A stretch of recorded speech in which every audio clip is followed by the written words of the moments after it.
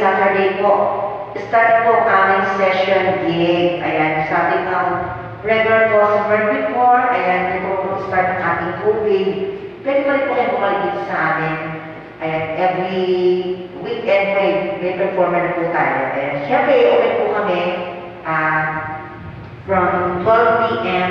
to ah 12 midnight. Ayan. Pero, po tayong rules kailangan